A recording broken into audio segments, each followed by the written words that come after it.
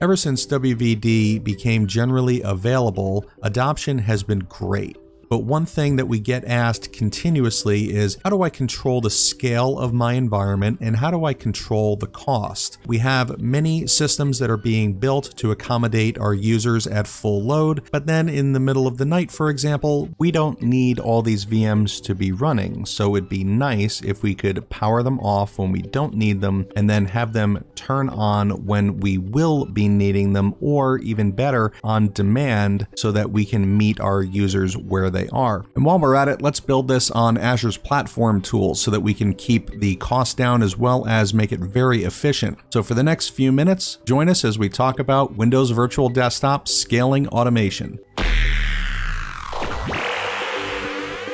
I'm Dean Cefola, and this is the Azure Academy. Scaling up a WVD environment is really not a new thing. We've had a feature that could do this for quite a while. That was a solution built on VMs running scripts. And because we needed that host system to be running pretty much 24 7, then we were cutting costs by turning VMs off and then increasing costs by running this other solution. So the product group took a lot of customer input, went back to the drawing board, and redesigned the solution built on top of Azure Automation and Logic Apps. So our story today begins with our documentation. So from the main page of our docs, we'll click on Products, and then we'll scroll all the way to the bottom of the screen and click Windows Virtual Desktop. And over here in the filter on the left, we're going to type the word Scale, and we'll click the link for Scale Session Hosts Automatically. And from here, we're going to be able to download all the code, but first we got to take a quick look at the prereqs and basically, you need to have WVD already built, as well as you need to have contributor access on your Azure subscription. Then, from the machine we're going to set this up from, we need to have PowerShell 5.1 or later, as well as the Azure AZ PowerShell modules. Once you have those in place, our next step in the process is to create an Azure automation account. And we do have all the code right here so that you can download that. And this does go out to the official GitHub repo for WVD. So let me show you that quickly here. And this will be linked in the description down below so you can easily get to it. And here in the repo, we'll scroll down to the WVD templates folder. And inside there, we'll open the WVD scaling script.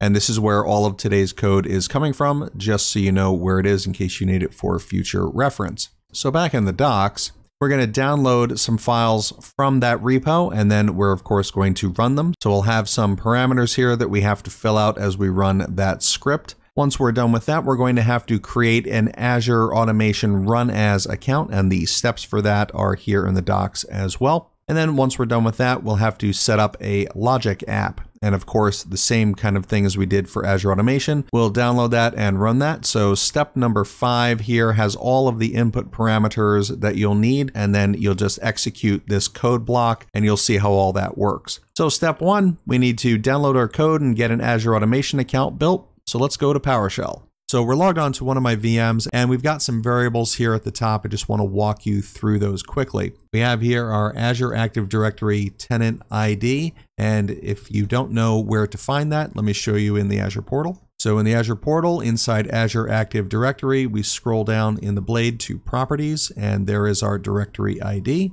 And then our second variable is our subscription ID, and we will copy that over as well. Then we need the name of our WVD tenant, which host pools we'll be talking to. Where we want the solution deployed will be this RG name variable. The Logic app will run every 15 minutes. We're beginning our peak time of the day at 9 a.m. and ending at 6 p.m. And we need to set our time zone here. And this is difference from UTC time. Now I'm in the Eastern time zone, but I'm setting this now and we'll be running a test changing this in the process later. The session threshold per CPU has to do with configuring the maximum number of sessions per CPU, and that's going to be a threshold to determine when new VMs need to start up during peak hours. And the minimum number of RDSH here has to do with the minimum number of session hosts we'll keep running during these off-peak hours. Since this is just a lab, I'll be giving my users 30 seconds to log off and I'll be providing them a message title and body, just telling them you're going to be logged off and save your work. We'll be deploying this in the East US and we've got the name of our Azure Run As account and our automation account here. And the maintenance tag name is kind of interesting. This is where you can set a tag on the VMs that you don't want to be managed by the scaling solution. And anyone with this tag, we will just ignore those resources. And then this is not part of the default, the way that this script is run. You certainly don't need to do this, but I also want to add a log analytics workspace on top of this solution so that I can keep track of all of that data. So I'm providing the name of my log analytics workspace and I'm also going to do a get operation here so I can pull that workspace in and then parse out the ID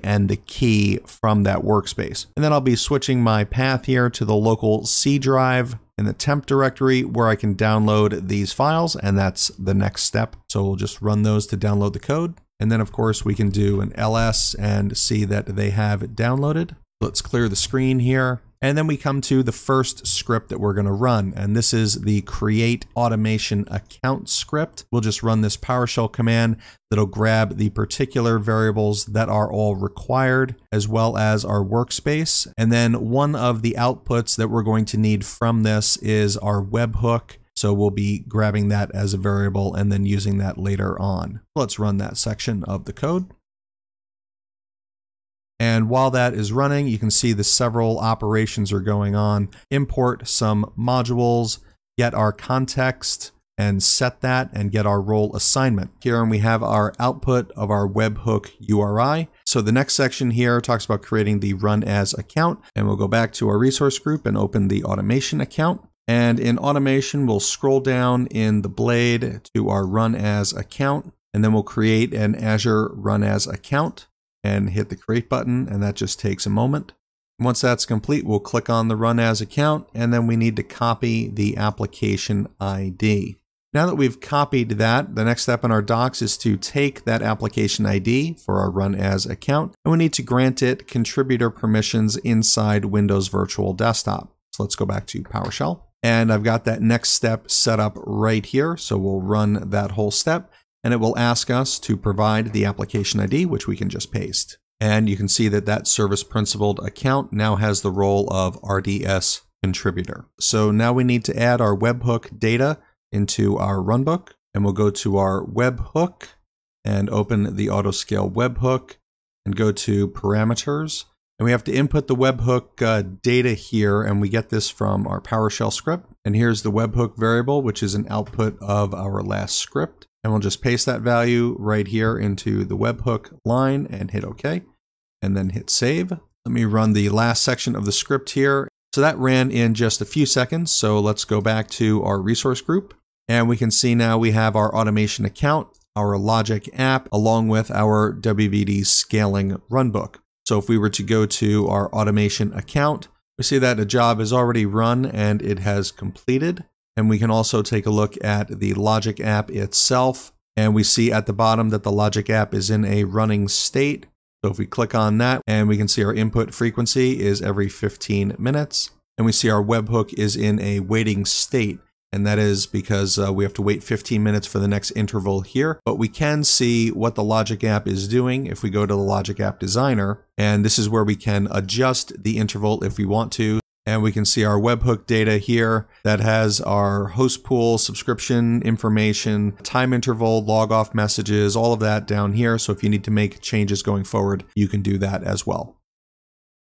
All right, and it's been a little while since we started this up. You can see we've gone up to 96 jobs run, and you can see that they're in completed state. To see the details of the job, we have to click on it, and then we can check the output. First thing uh, in the process here is we're going to authenticate into RDS, and then it's going to analyze the script according to that webhook that we just looked at, and it's going to determine if we're in peak or off-peak hours, and then adjust the environment accordingly.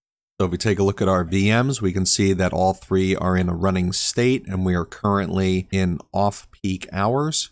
And that's because I set our time zone at plus five from UTC.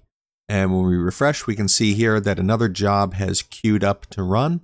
So clicking on our job again, we can see uh, if we look at the all logs section, the entire workflow. And that first starts off with authentication and then determining if we're in peak or off peak hours. Then we're going to run that job against the host pool. So first we check for the VM's heartbeat to make sure that everything is working. And we've got three online, so we're going to stop two of our VMs. So it's issued the shutdown command, and now we're waiting for the VM to respond. And there's the command for the second VM to shut down. And if we go back to the VM screen and refresh, we can see that first VM has shut down. So in another moment, we'll have our second VM shut down. So if we go back to the job and we refresh the job status, the job is now completed. So now what we want to do is we want to switch it up a little bit. So we're going to go to our Logic app and we're going to open that up and then we can edit the Logic app here at the top by clicking edit and then we can click to edit either one of these properties. So first I'll adjust the time interval from 15 minutes to 5 and then we'll click save again. Now in the webhook section of our Logic app, what we want to do is change our time zone. So our peak hours and end peak hours are just fine. And we just need to alter the time zone so that our system knows that right now all of our VMs should be up and running. And as I said earlier, the plus five here was a, a, setting that I was going to configure, but that's not Eastern time. So I need to change this from a plus five to a minus five. And then we'll click the save button at the top. And then rather than wait for the job to kick off again, we can just click the run button up here, which will just start it right away. And then we can go back to our automation account and watch this in action. And under jobs, we see that our job is currently starting. Click on that and we'll click on the all logs again. And just like before, the process here has our authentication happening first. And then we can see that it is peak hours now, and we need to start our session hosts. So we see that our VM check shows that VM 0 has no heartbeat, 1 has no heartbeat, but 2 is online. The current number of hosts is 1, so with one host, we have the capacity for four users. I'm going to open multiple WVD sessions, and then we're going to get capacity to increase.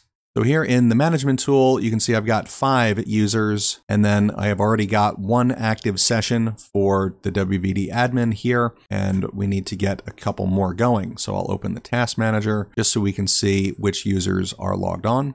Now we've got five users logged on to this single VM. And so what we would expect now is that the solution will detect this the next time that it runs and scale up some more VMs for us. And so looking at our previous job that just finished running a few minutes ago, we can see that the number of total users logged on was one, capacity was four, so there was no reason to do anything that time. But this time we have a new job queuing up and it is now running. And the output here says total number of user sessions currently is five, capacity is four. So we need to turn on another VM to meet demand. We go back to the VM screen and hit refresh. And we can see VM0 is now running.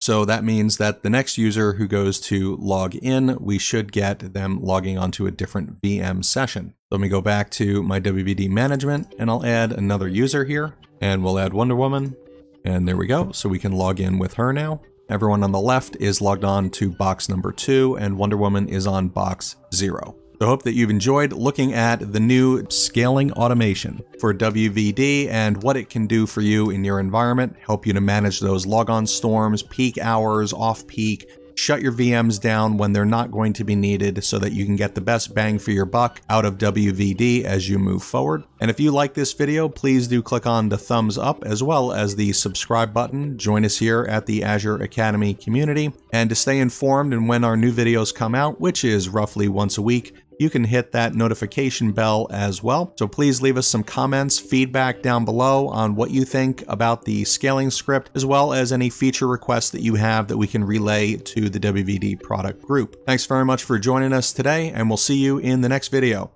Happy learning.